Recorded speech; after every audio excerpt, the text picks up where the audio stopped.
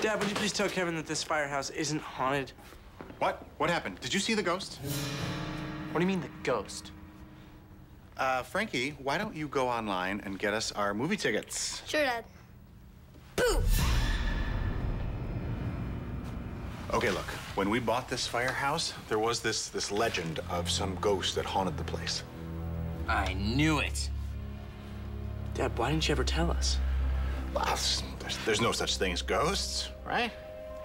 Plus, I was afraid he would condemn our souls for eternity if I told on him. Dad, it's okay to be frightened. L- look at me. I'm scared speechless, but I'm still going to prove that this place is haunted with the help of the mighty ghost cam. Isn't that just a regular video camera? Well, apparently it's got some type of ghost sticker on it. Please tell me you kept the receipts. He didn't. The guy in the van said I didn't need one.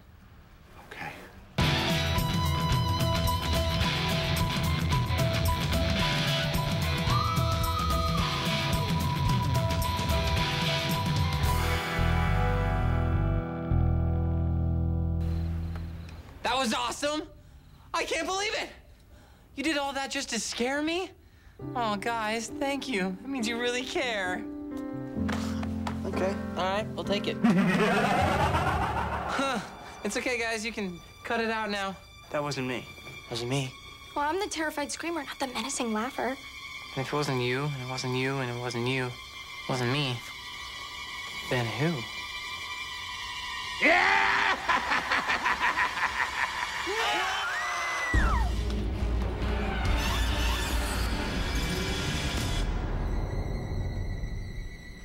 You're right, Franks. This was a lot more fun than going to the movies.